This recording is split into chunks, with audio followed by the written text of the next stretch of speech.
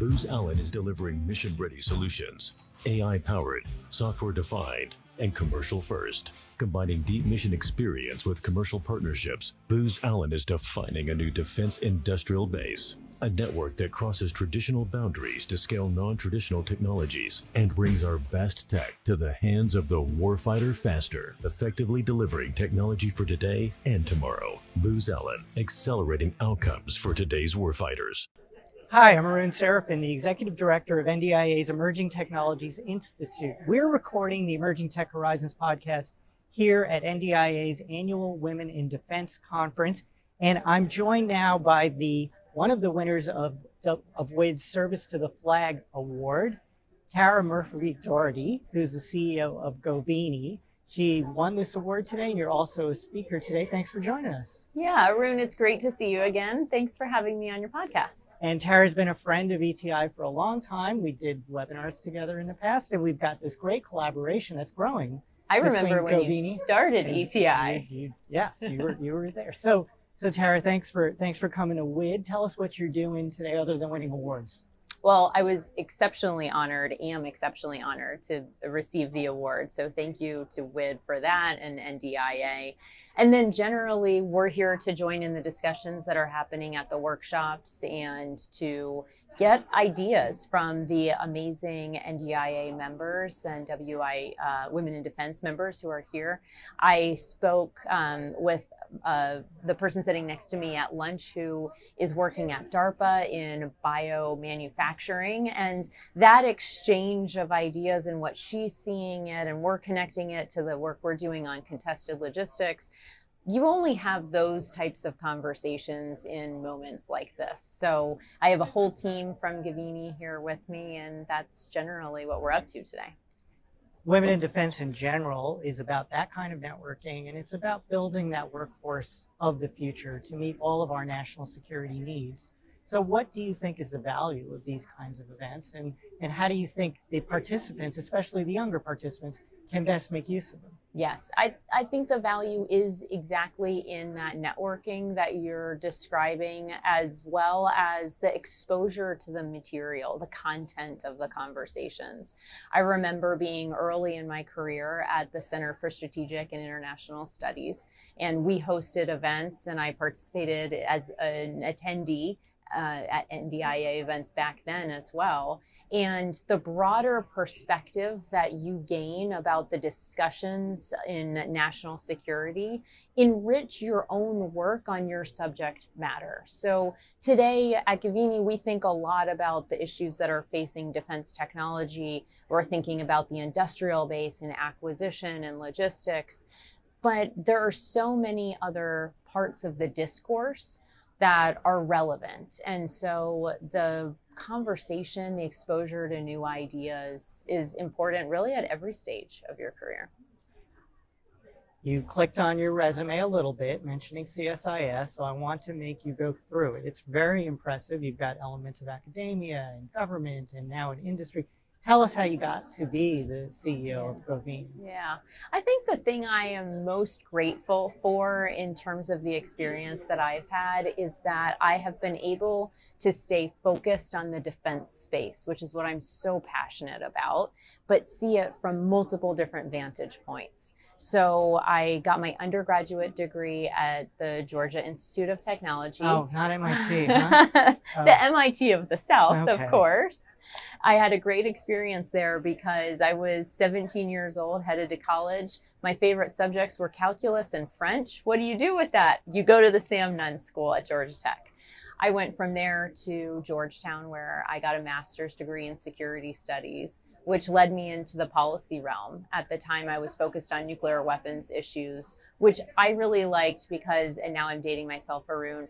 When I was in grad school, if you were interested in the intersection of defense and technology, people weren't talking about artificial intelligence or quantum you worked on deterrence issues. That was sort of the technical field. Probably nuclear deterrence. Exactly. And so uh, I worked at CSIS, as I mentioned, which led me into the Pentagon, spent a number of years in the Office of the Secretary of Defense, and then decided to try the private sector, where I worked at Palantir for almost five years and then joined Govini. There's an interesting thread in all that. There's two I want to pull on. One is these are all very technical environments. And where you've ended up now at Govini, where you're doing leading edge data analytics work on things ranging from analysis of policies to analysis of supply chains and analysis of everything else. How do you pull and and make use of that technical experience and the technical workforce and then apply them to kind of these broader issues? Yeah. Yeah. You know, one thing I don't often say out loud, but is very true, is I actually love working with engineers. and I didn't realize that that was the case until I got to Palantir, which was an environment and a culture designed entirely for engineers. But what I was able to do there was dive in and learn so much about the technology. In this case, it was data, data integration, and software. And I just love that kind of immersive learning. Uh, I also really like the natural curiosity and uh, the sort of decomp type thinking to figure things out that engineers often lead with. I think that's largely how I've been able to put that thread together, which is if you are a first principles kind of thinker, regardless of what the new topic is, and as a CEO, I'm getting a new one that I haven't faced yet every week, if not every day that can help you navigate in a pretty reliable way. And, and certainly, I found benefit from being generally very quantitative, I'm metrics oriented, analytical. Uh, and those are things that have been true in, in most of the environments that I've been in, if not all of them. Yeah, I mean, in my experience, I have a PhD in something from somewhere, and it's not the kind of thing that you would have thought led to 20 years on Capitol Hill right. or now working right. at NDIA. But on the other hand, like you said, the skill sets of I know how to take data, I know how to analyze data, I know how to structure an unstructured problem. You might have to help me with my writing and my communication, which and put me in an environment where I can make use of those skills. But it sounds like you've created that kind of place at Govini, where then those technical people can then contribute to these grander missions. I think so. And can I just say that that is such a wonderful description of what I think serves people very well in the defense field. You know, Arun, your reputation on the Hill was just exceptional. I mean, you were known in our field for that type of thinking and for coming at policy challenges with an analytic mindset trying to get to the best place for US national security. One of my favorite things about defense is that it's traditionally been fairly apolitical and much more content oriented. It, it's one of the best parts of our field. The other thread in your career is there's some think tank time, there's the academic time where you started, then there's executive branch time, and now there's industry. Right. And so how has that been beneficial for you to do what we used to call flow through the system? I think it's all about understanding your audience. You know, one, maybe going back to the, the other thread about uh, working in technical environments, one of the reasons that I wanted to be CEO uh, I started at, as you might have heard in the award session, I started at Govini actually in, as basically hired to build out the go to market motion. And that's great for me because I love customers. I love solving customer problems. And I primarily have been motivated by trying to have an impact on the mission, which in industry is really just called sales. Mm-hmm. but, but I wanted to be CEO because I care deeply about the product we're building and what the solution is. And I want to be part of the technical conversation as well. And so I think that um, that ability to think about, well, whom am I speaking to and how do they hear my message? Or what do I need to lean into in, in order to connect with this person is so, so important in our field. Because in the government space and the defense and national security space, our stakeholders I mean, our stakeholders are multivariate. You know, it's Congress, it's the White House, it is influential um, policy thinkers and, you know, thought leaders, in addition to the people that we want to work with directly in the government. Even other companies matter.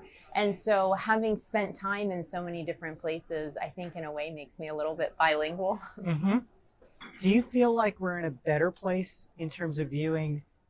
Government industry as a partnership? Or is it still sort of a customer seller or even adversarial relationship? Are we moving in the right direction? I think we are moving in the right direction. This is the best time I have ever seen in my career to be working with the government in that industry uh, construct, which is not to say that it is all solved. I was in meetings today with a part of the Pentagon that I won't name, and they were talking about, well, we we love this software. We've done a lot of market research, but we think in order to solve the problem, we're just going to build our own system.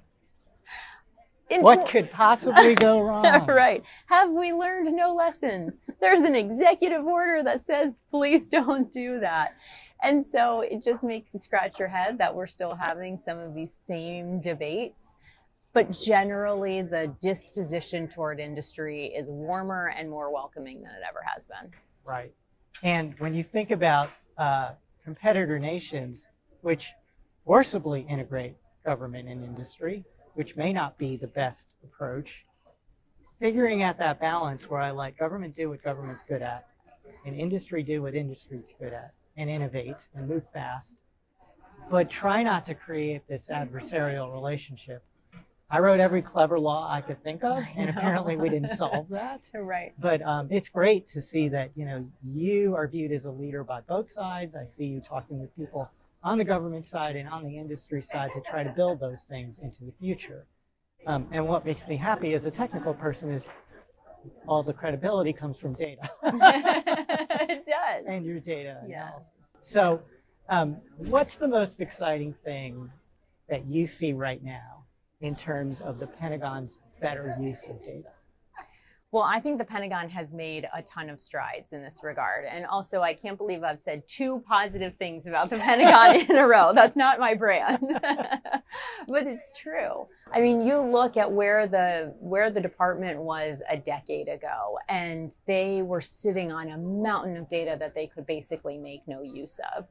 I would say they have accelerated into the data warehouse phase where they've made a lot of progress on data management and uh, modernizing their approach to data pipelines and, and things like that. Even got into data analytics and data visualization.